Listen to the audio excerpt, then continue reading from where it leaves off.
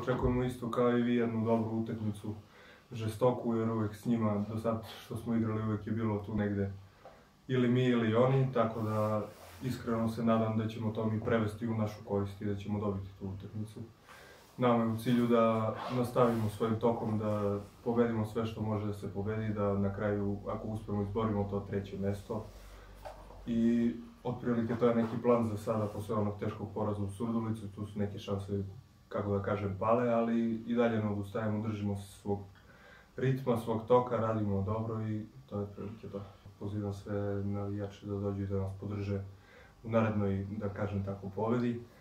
I očekuje se jedna lepa utakmica, dosta, dosta energije, dosta dobrih poteza, to je to otprilike.